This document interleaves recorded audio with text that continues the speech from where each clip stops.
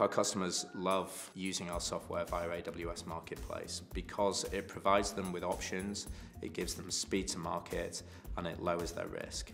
My name is Matthew Scullion. I'm Managing Director and founder of Matillion. So Matillion are a cloud data software company, an ISV based in the United Kingdom. We have customers worldwide. We market the product Matillion ETL for Redshift, which is an ETL tool, and we use the AWS Marketplace to take our technology to a global market.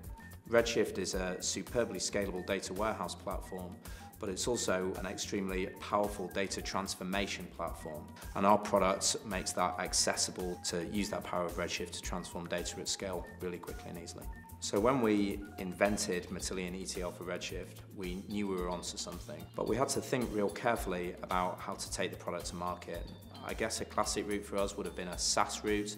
We could have also uh, provided it like some of our contemporaries in the ETL space do in a, a per user license model. We decided to take the product to market exclusively with the AWS marketplace.